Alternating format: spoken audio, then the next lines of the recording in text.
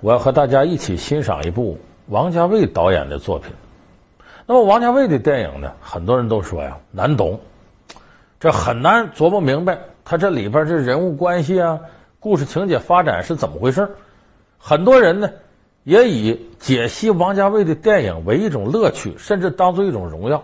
那么，今天我们说这个电影呢，又是王家卫诸多难懂的电影当中几乎是最难看懂的一部作品。这部电影的主角呢，呃，是梁朝伟和张曼玉。那么我说到这儿呢，很多朋友就知道了，这是王家卫在中国内地最火的一部小资电影《花样年华》。哦，有了不寻常的关系，于是两个同病相怜的人就有了愁绪，有了伤感，有了孤离的道德约束下，日子在花样年华中过去，忧郁、悠远。惆怅淡然，而影片对于旧上海的描写，更是存留在王家卫生命中的影像，对一个时代的迷恋。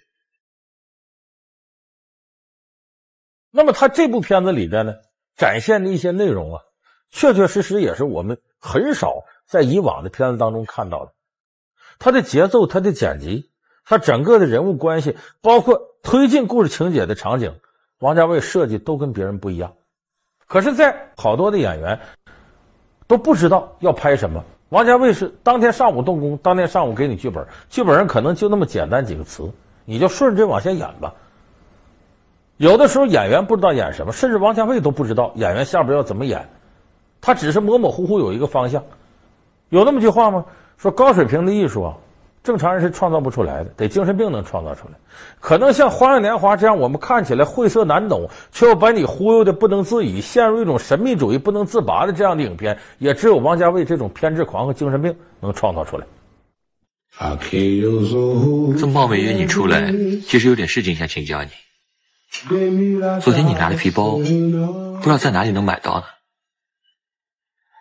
那个皮包是我先生在外地工作时买给我的。他说香港买不到。啊，那就算了吧。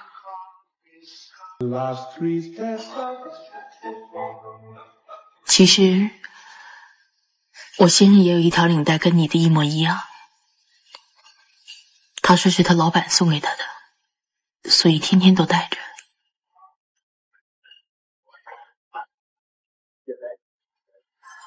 太太也有个皮包，跟你的一模一样。我知道，我见过。老福呢，看惯了好莱坞式的商业巨著，看惯了一些小资片的矫情，看惯了一些武侠片大打大杀，突然间出现这么一部片子，咱们有一种换了一种口味的感觉。可是我敢肯定，如果你天天看这片子，你也会成为精神病和偏执狂。好在呢，这样一部片子。是由一些大腕来演绎的，这还能够把我们的视线留在这片子上面。你比方说，有很多人看这片子，就是来看张曼玉穿这个二十六式旗袍来了。咱们也必须得承认，在这里边，张曼玉的旗袍是视觉上最大的亮点。它这里边呢，张曼玉总共换了二十六身旗袍，这些旗袍呢，都是挺上年代非常有特色的那个旗袍，而这些旗袍呢，配着张曼玉得体的身材。显得曼妙生姿。张曼玉当年港姐的亚军，那可不袍呢。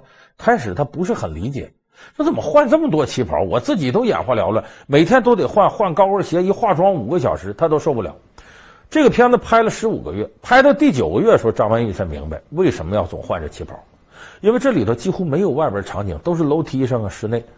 如果不这么换服装，观众可能就会混，就会发生错位，更加不利于理解剧情。而且这个旗袍关键在视觉效果上。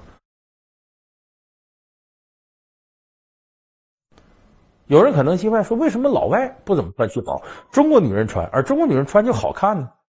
很重要一个原因，外国女人的身材和中国女人身材不一样。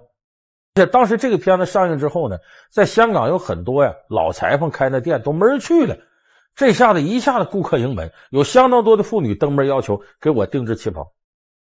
所以你看，这个旗袍在这里边，对社会上这个旗袍的销售都产生了积极的影响。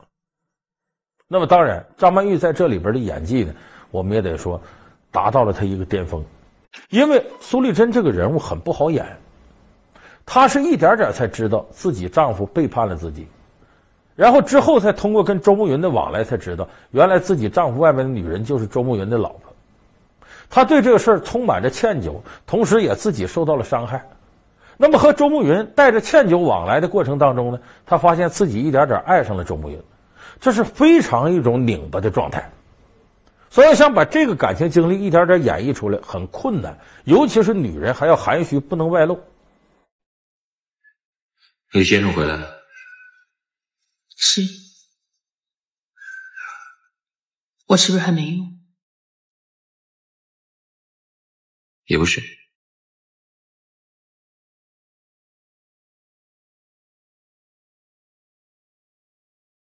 那我以后不找你了，好好守着你先生。所以张曼玉配合这个衣服来调整自己的心态，来按照王家卫导演的方式往前走，所以使我们感觉不温不火，表达感情到这儿就正正好好，没有说让我们感觉压抑无比，也没有让人感觉突破这个角色的限制，突然间外露出来了。所以说，张曼玉在这个戏里边达到那种内敛演技的一种巅峰状态。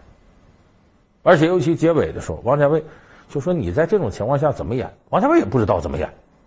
张曼玉说：“我会哭。”周慕云要走了，说：“你怎么哭？”说：“你演一遍吧。”